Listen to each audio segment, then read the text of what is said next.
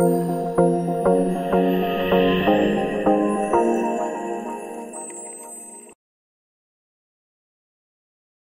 video is about linking a folder or a file to an Excel cell. There are two ways to do this. For creating a link to a folder in this particular cell F3, select the cell F3, right click, select link. Here we have a dialog box to insert hyperlink. For selecting the folder, click on the drop down menu near the label lookin. Now we have to select the folder to be linked. I will select this folder 51 ready to use Excel macros. In this input box near the label text to display, I will type in folder for ebook. Whatever we type in here will be displayed in the cell F3. Click OK. And now in the cell F3, we have an underlined text folder for ebook, which is a link to the folder 51 ready to use Excel macros. Place the cursor over the link to see the address of the folder. And when I click on this link, that particular folder 51 ready to use Excel macros will open for me. In the same manner, we can link files too. For creating a link to this particular PDF file 51 ready to use Excel macros, select a cell, right click, select link,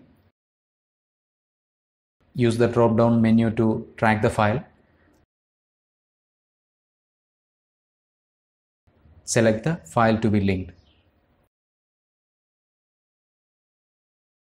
I will type in ebook on macros as the text to display. Click OK. Now we have a link to the PDF file called 51 ready to use Excel macros and a single click on the link will open the file. Now the second method. Here in this sheet, we have the file paths, otherwise location of some files and folders. Cell B2 contains the address to the Excel file called flashfill underscore xlncad in the F drive of my PC.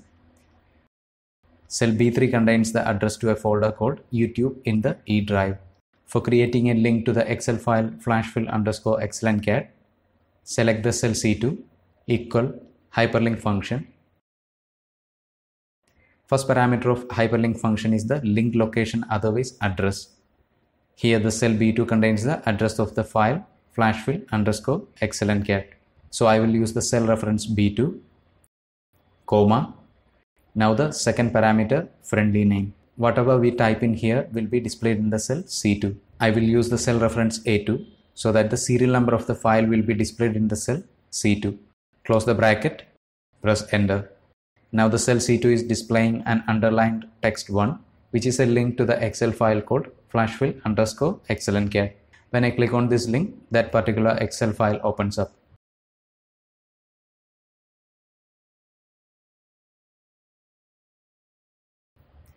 Now I will drag this formula to the adjacent cell below. As you can see, the cell P3 contains the address to a folder YouTube in the E drive. To open that folder called YouTube, click on this link in the cell C3. I will drag this formula to the downward cells to create links to the remaining files and folders listed here. And you can see I have linked files of different types of formats like PDF, AutoCAD drawings and even MP3.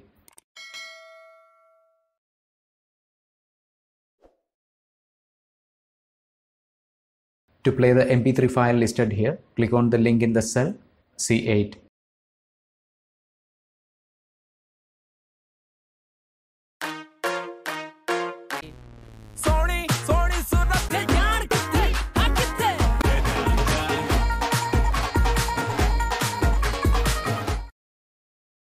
Now again a folder containing AutoCAD drawings. Macro for creating the list of files, folders and path names will be explained in the next video.